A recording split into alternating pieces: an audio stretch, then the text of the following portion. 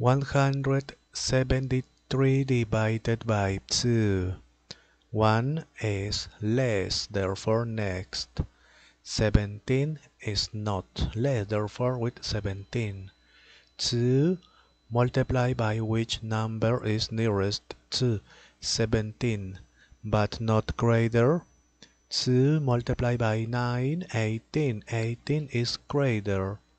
Multiply by 8, 16 is not greater. Okay. 17 minus 16 is 1. Next. 13.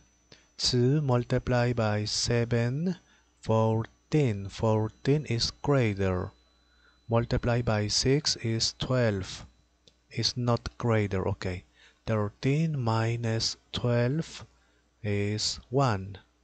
Next. There is not number, therefore complete. Always complete with 0, here with point. Complete point. Okay, 10. 2 multiplied by 5 is 10. Is not greater. Okay. 10 minus 10, 0. 0, therefore finish it. 173 divided by 2 is here. Okay.